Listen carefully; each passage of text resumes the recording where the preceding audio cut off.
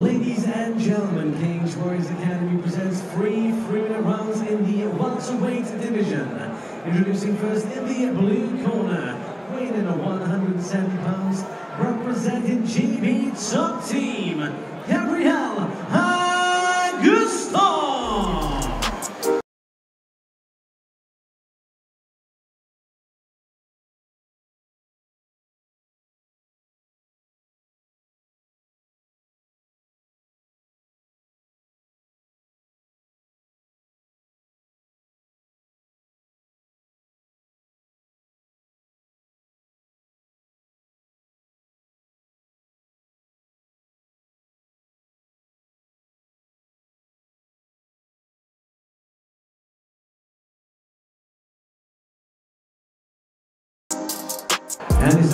in the red corner, weighing in at 170 pounds, representing Noir, Florent Casaban. Cage Warriors Academy Southeast, 175, 170 pound bat on deck rather. Gabriel Augusto in the black shorts with white trim, taking on Florent Casaban in the dark grey trunks. Two rangy looking welterweights here, Nick. I, yeah, I'm waiting to see some jabs. There's that teep to start it off with by Augusto.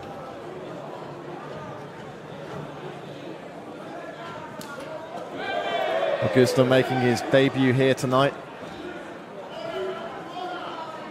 Casaban already 2 and 0 as an amateur. Casaban in deep on that double, looking to lock his hands. He's got him locked. Nice little dump. Already Augusto looking to get those legs working up high. Casaban going to have to be careful hanging out in the guard here. Tries to snap to that triangle over. Yep. Good awareness by Florent. He's able to posture up quick, buck the shoulder, get both arms through.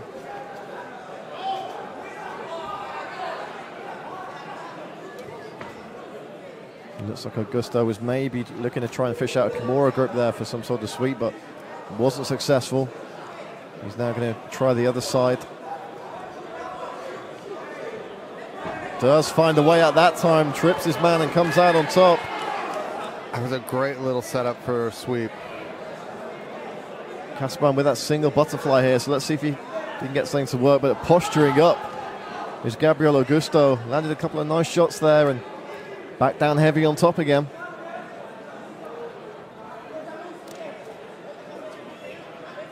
Augusto's tight on top. He's sitting on that half guard.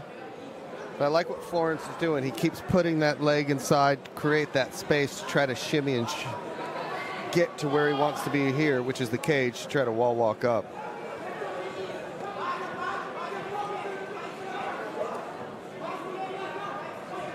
Wesley Meyer, Corey Tate, and of course Brad Pickett in the GB top team corner. Oh, nice. Florent in there Kick just to the back on the way up and laughing and smiling. Augusto wants to have nothing to do with it. Yeah, you can save the handshakes for one the final bell's rung. Gabriel Augusto just all business here as he walks his man down against the cage.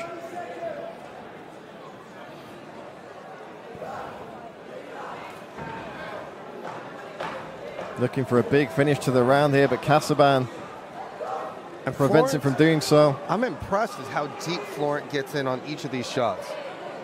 Like he's in where hands are locked on every shot. His finish rate has to be super high being in that deep. Most guys, you just can't get in that deep towards doing it. And it's not that his arms are extraordinarily long for his height. He just does bring his hips in behind him. I could see Augusto just needing to sprawl a bit better and control that head when Florent does eventually shoot in.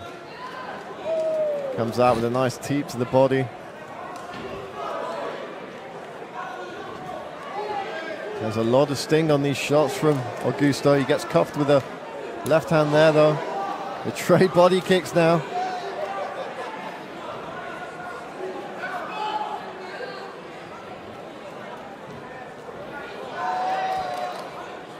Casaban's going to have to be careful.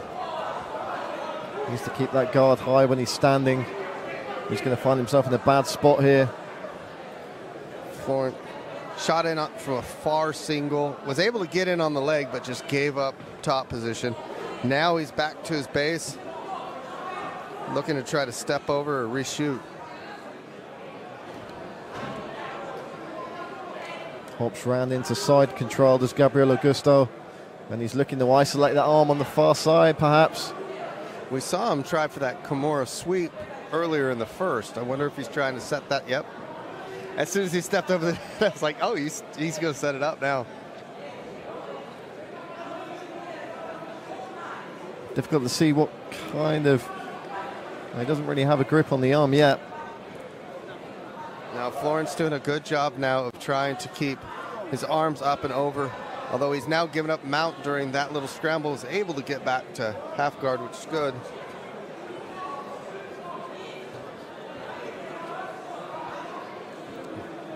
Augusto's not really making him pay for being on bottom right now. There's not a lot of strikes coming be to the body or the head. Yeah, he's definitely trying to isolate one of those arms, though. This, this is like the third or fourth time we've seen him get that grip, so perhaps that's something he likes to work on in the gym. Maybe it's a vulnerability he's seen looking at tape of Casaban from previous fights. Who knows?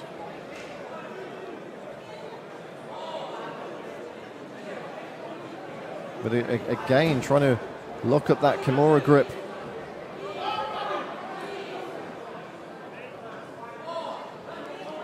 And Florent doing the right thing, locking up those hands, just looking to isolate it. Now he's trying to do the really smart thing is sneak out that back door. Oh, and he does. Both hooks in. No, he's got the one side. in. Oh, and he's pounding away here. A volley of punches from Florent Casaban. Oh.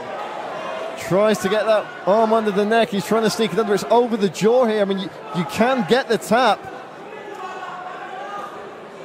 Trying to adjust that grip. He's got 10 seconds left to play with. Augusto continuing to roll, but Florence jumped that. And now Augusto jumping it. Incredible exchanges in that second round. The, the, trading of rear naked chokes towards the end of that last 35 seconds or so. But I like what Florence was doing. Well, third and final round about to get underway here at the Cage Warriors Academy. Gabriel Augusto, Florent Casaban.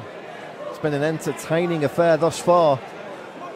I'm sure the final three minutes will live up to the previous six. They touch gloves and Casaban going to start with a high kick early. Again, got that big smile on his face. Well, Florence started this one with a head kick, whereas Augusto started the first two with face teeps. Seemed only fair at that point for him to be able to throw that head kick first. Nice duck under for that double.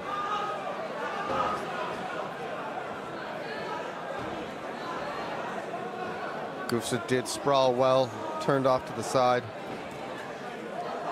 Nice combination there from the Frenchman.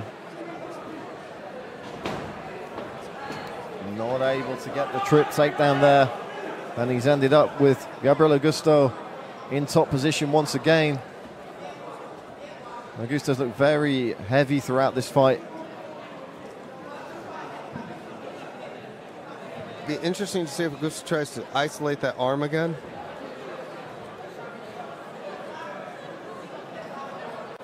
It was Casaban throwing up the legs there, but he, he's given up side control. And yeah, I, I think Augusto is maybe looking at that arm again as a possibility.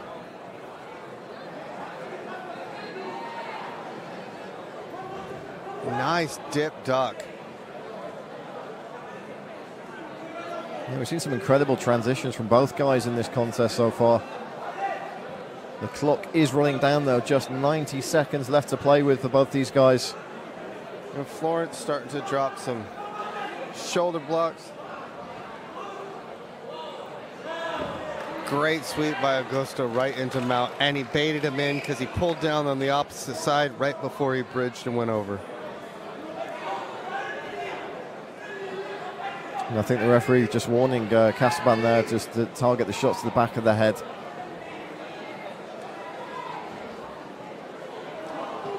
Good strong base here from Augusto. Casaban though finding a way out once again, able to get that half guard. Time's running out for him though. He needs to get some offense on the board in this round. Augusto's just really heavy on top right now. He's making sure he's chest to chest, digging that shoulder into, would say the throat area, but it's more upper chest. And it just helps with kind of slowing down the breathing and making it to where it's not able to be able to stand up or move your hips. Yeah, I mean, that's got to be frustrating, Florent Casaban there. He knows the clock's running down. He's trying his best to get out from underneath. Can't move. He's literally stuck between a rock and a hard place here.